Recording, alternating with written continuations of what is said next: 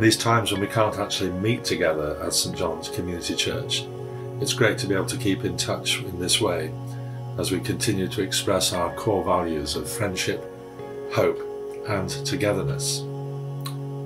So here's a question How are you when it comes to waiting?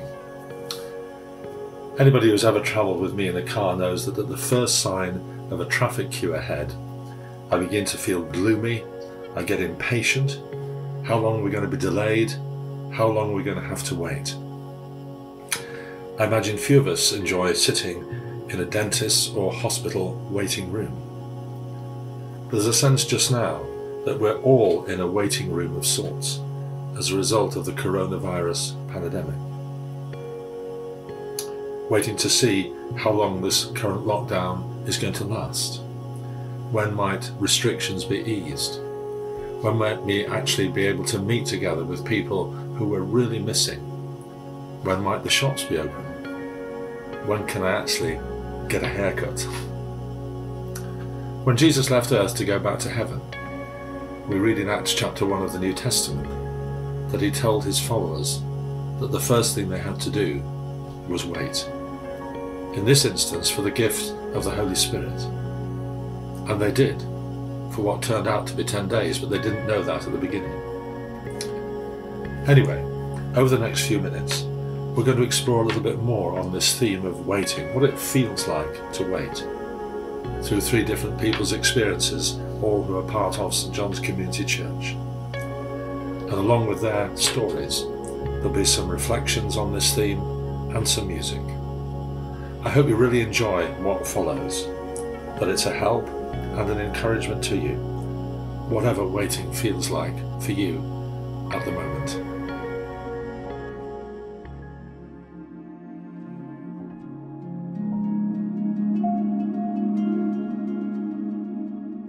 So, when I got to think about waiting, started thinking about our wedding and all the waiting that you do in the run up to a wedding so, you know, you book one thing, so you book the church, and then you've got to wait a while until you can do the next thing, and you book the photographer and things. And that's all, you know, quite exciting kind of waiting. But um, then I really got to thinking about the actual day of our wedding um, and the waiting and the anticipation um, on that particular day. So, like most brides, I woke up really early. I'd got to go to the um, hairdressers and then the beauticians for my makeup doing and all these kind of things. And, um, and I was so, so excited. I absolutely could not wait um, for the for the whole day to get going. And um, so we got back from the hairdressers, and I was all done up and, and all ready to go. And kind of I just remember sitting waiting um, with that um, kind of nervous, I guess, but nervous excitement. Um, so the guys came with the car um, to take me and my dad and my mum and my bridesmaid down to the church, and I was like, "Let's go, let's go!" You know, so um, so eager um, to get going and get get the day started and start our new kind of married life um, together. Um, I was like, "Can't we go? Can't we go?" And the, the driver um, pointed out that at this point um, we'd, we'd had two cars, um, so they'd not actually dropped Matt off yet at the church. Um, so it's like, no, we just wait a while, uh, you know, keep calm. Um, we had some photographs done with the car and um, in the garden with my dad and my parents and and um, and then you know eventually um, the he gave in um, and we drove down to church. And again I was just so so eager to kind of get out of the car and get going. And and, uh, and I remember Robin um, our vicar um, kind of greeting us at the top um, of church by the lich gate. And um, you know, I'm so excited, I'm so excited, let's get going, let's get going. And um, and he just said, you know, he really kind of tried to calm me down. Um, and we had a moment of just kind of quiet. It's like, you know, just take a moment. And we stood um, and he said a prayer. And, uh, and I remember him saying that, you know, that part of the, the build up um, of, a, of a bride arriving is that anticipation. Um, you know, that that's really kind of building um, the whole day um, is that anticipation of, of a bride's arrival. And, uh, and it's just really got me thinking about whether um, you know we anticipate things enough and spend enough time in that moment before something happens of just thinking and reflecting and maybe praying and um, just taking a moment to think about what's coming and what's going to happen and how that might change our lives. Um, so, you know, it's great to be excited, um, but just to have a bit more reflection and build that anticipation. You know, the, the joy of, of something happening, I think, is quite often in the anticipation and the build up of that.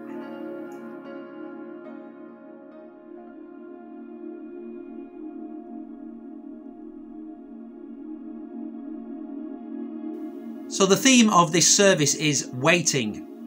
And what I'd love to do just for a few moments is share some thoughts with you about my own experience of waiting with uncertainty, or to put it another way, waiting for God to speak. I guess all of us from time to time have had big decisions to make, huge decisions, decisions that will have life changing consequences. And whenever we're faced with a decision like that, it's always good to know what God wants us to do. And for some people, uh, God speaks very, very directly. It's like they receive a thunderbolt and they just know what God wants them to do. For others, and this is certainly my own experience, it is much more a long term thing and it takes time. And there is a sense of we have to wait to really know what God wants us to do in that particular situation. I'm going to reflect on my own experience of when I felt that I was called into full time ministry, when I felt I was being called to become a vicar, which was a huge life changing moment for me. And as I've reflected on that process, I've come up with four things which I, I found helpful for my own experience, but uh, you may also find helpful if you are also in that period of waiting for God to confirm or to speak to you about a big decision. The first thing that I found helpful was finding space to allow God to speak, finding space. We all live busy lives, don't we? And particularly when I think back to when I was thinking about full time ministry, I had a very busy life, I had a young family. I was working in the prison, I was working shifts, I was working long hours, I was in a fairly stressful job, I was really, really busy and active in my local church.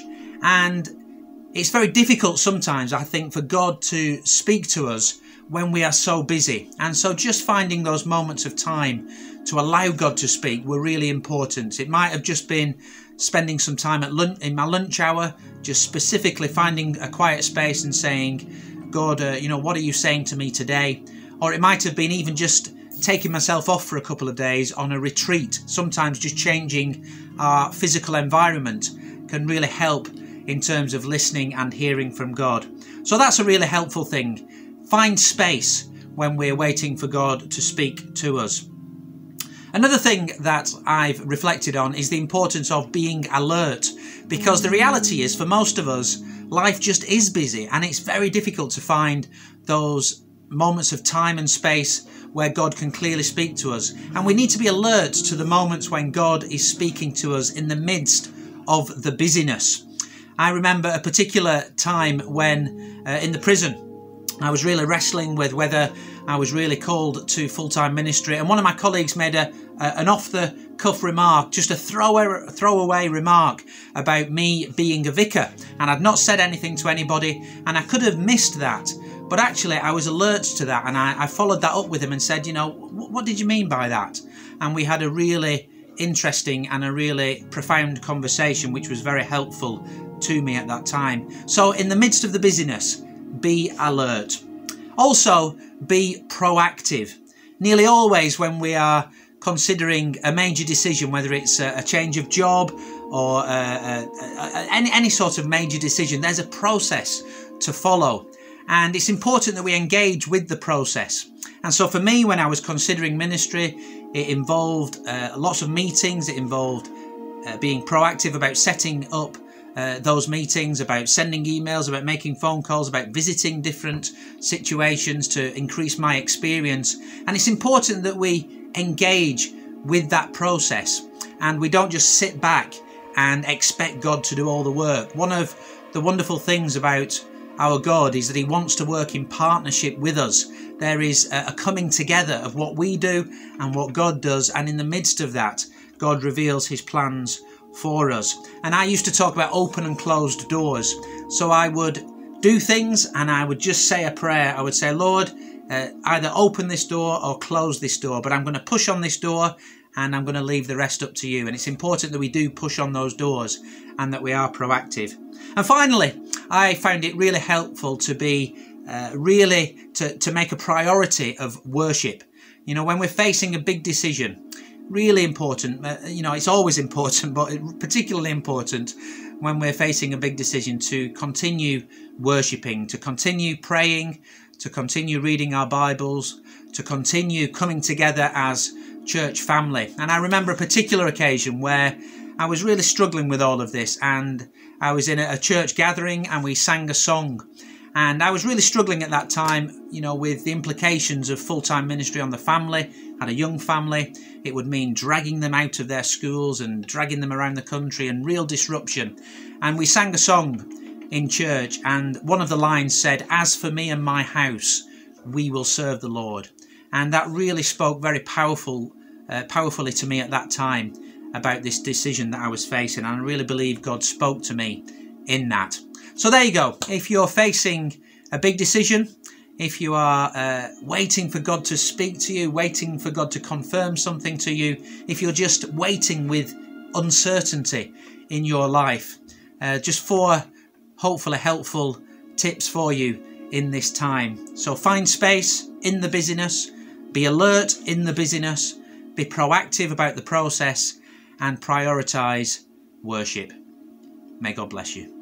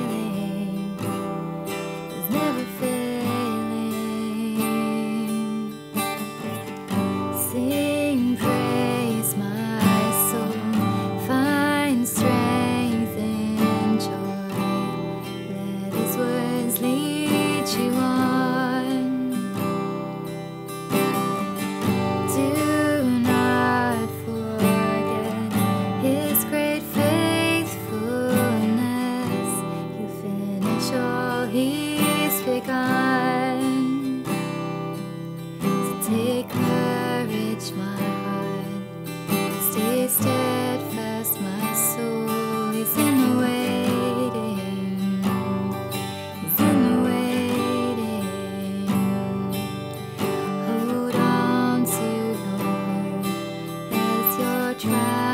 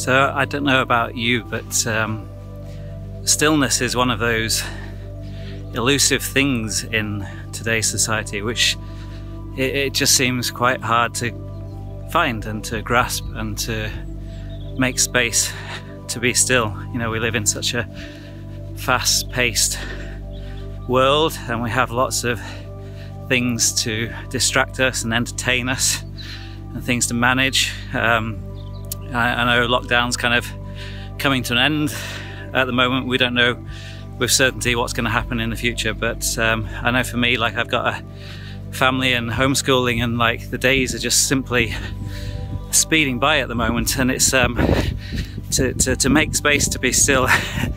it's just challenging, right? It's it's it's hard to find the space, and and then the other thing with stillness is if you do make time to be still, there's the worry or there's the kind of, well, what am I going to find in this illness? You know, when, when everything quietens down, when it's just me in my own mind, what, what am I going to find? What, what, what's left when all the distractions, when all the busyness, when all that's taken away? What will I think about? and I know if I do make time to be still, it takes me a good oh, 10, 15 minutes just to, to still my mind beyond that. And so it's a challenge, right? And I think there was this, um, there's this verse in Psalms which says, Be still and know that I am God. And um, when, when you are still, that's when you give God a chance to say, Hey, I'm here and whatever you're facing and whatever you've got ahead of you and whatever you're in the middle of, that's when you give God a chance to go, hey, I'm God. I've got you. I love you. I think you're incredible. Let me, can you let go of control for a minute and just let me be God in your life and let me give you peace and let me help. And, and, I remember the time I was up in the Lake District actually, and we'd gone for a family camping trip. And so you'd have the normal chaos that goes with a family camping trip of setting up the tent and packing the car and, all those kind of things. And um, uh, uh, we'd done the whole um, setup and we'd had our evening meal. And then um, it was it was an evening like this. It's about half past nine at night at the moment and uh, there was me and a friend and we got these inflatable kayaks. And um, it was just such a beautiful still night. And something in my soul just like was like I just need to get out into the middle of Ullswater Lake on this kayak. And so me and my friend uh, got the canoes down to the shoreline and we paddled out into the middle of Ullswater. And oh my gosh just talk about stunning. You know the sunset was across the mountains the water was as still as a min, mill pond, you know, when you kind of put your paddle in and you watch the ripples um, drifting out across the water. Um, and, and, both of us, without saying a word, just stopped in the middle of Ullswater and, and just rested and were still. And uh, just one of those moments in life that you, you kind of hold and treasure in your hearts because uh, you know in that stillness i think for me like i, I love nature. I feel god in nature. And um, yeah i think in that moment you kind of just know that actually hey there's a huge god out there who is looking down on you and loves you and has created you to enjoy life and to have peace in life. And yeah i know we have lots of ups and downs in life but um, if you can carve out that time to be still and you can still your mind and you can find a time to rest, then that's when you give God a chance to bring peace into your mind and into your heart. So I know it's challenging, I know it's tough, but um, encourage you to find time in your life to be still and know that He is God.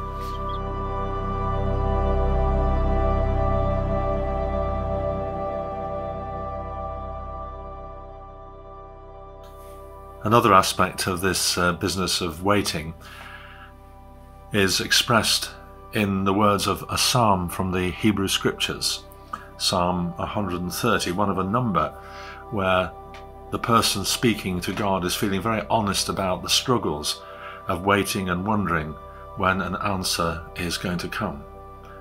The very opening words of this psalm speak about being in the depths. But as the words of this setting of the psalm continue. This person who is feeling at their lowest, really, at this point, discovers that as those fears, those concerns, those frustrations are expressed, we can be real with God and find that He is a God who hears, who holds, and can set us free from everything and anything that holds us captive. I will wait for you.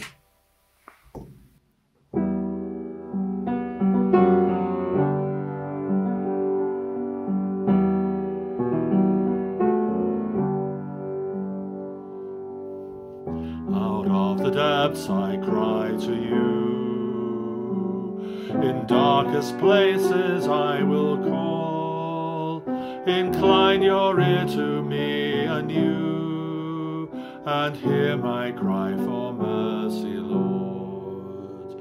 Were you to count my sinful ways, how could I come before your throne? Your full forgiveness meets my gaze. I stand redeemed by grace alone. I will wait for you, I will wait for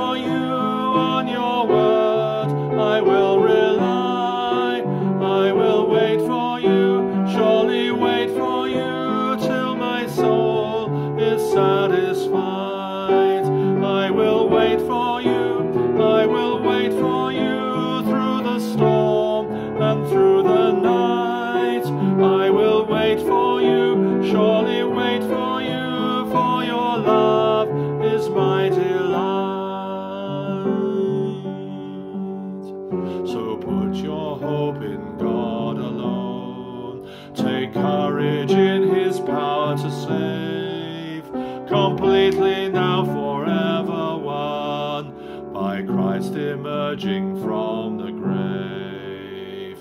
His steadfast love has made a way, and God Himself has paid the price that all who trust in Him today find healing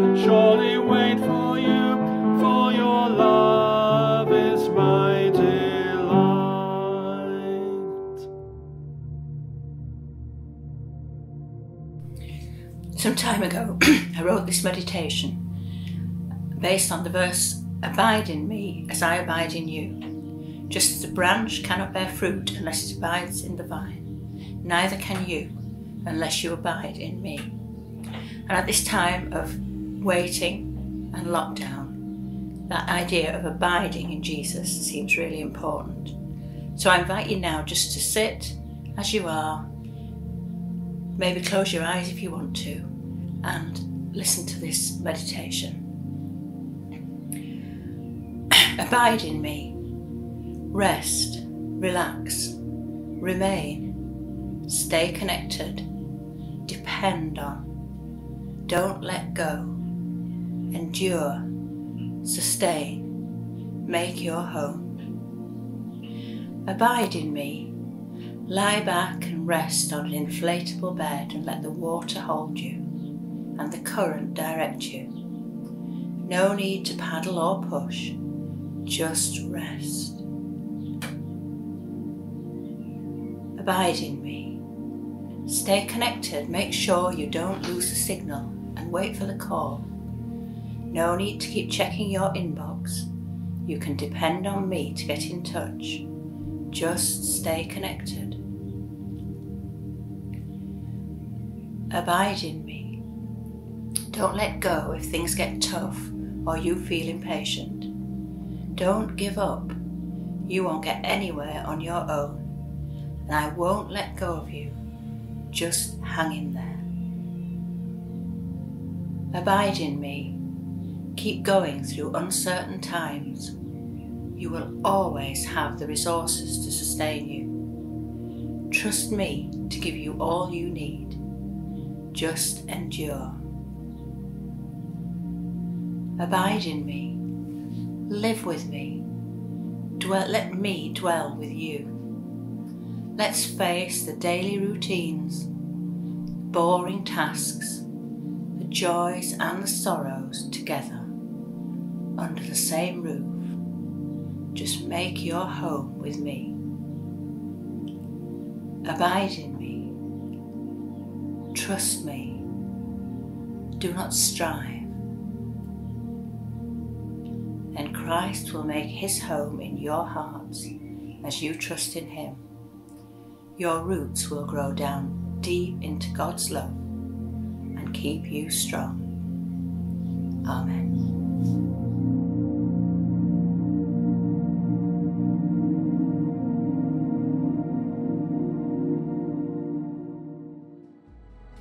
Heavenly Father, thank you for your presence here with us now. Wherever we are, you are here. Please fill us with your Holy Spirit, your spirit of hope and of expectation. Give us wisdom to know for what we should ask you and patience to wait for the answer. May each one of us have a special sense of your presence over the coming week and know that you are with us, our helper and our comforter. In Jesus' name, Amen.